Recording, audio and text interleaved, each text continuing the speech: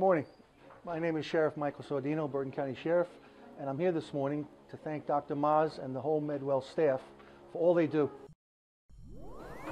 Hi, I'm Passaic County Sheriff Richard Berdnik, and I encourage everyone to come to Medwell. The treatment here is fantastic, the staff is wonderful, and uh, if you want to get better, this is the place to be. Hello, my name is Kurt Glenn. I started seeing due to a testosterone deficiency.